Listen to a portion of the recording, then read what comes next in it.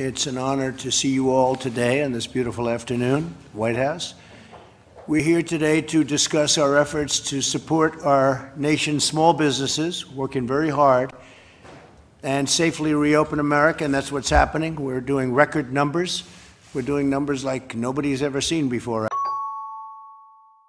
It's just an honor to be here, and I want to welcome and thank everyone for coming to the White House. And thank you, Mr. President, for your leadership. Thank you for doing a great job. Doing Thank great. you. Thank you very much.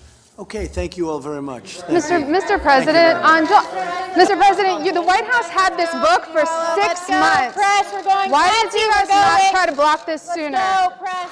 Why do you on, keep hiring people that you Let's believe go, are let's wackos and liars? Patsy, let's go, please. I will not be silenced. You're shouting. I've been told to stop, and I quote, shouting. Well, first of all, I'm not shouting. It's just when women talk, some people think we're shouting. Loud noises! I will not be silenced. I don't know what we're yelling about! Mr. President, you, the White House had this book for six Let's go. months. Thank you all very much.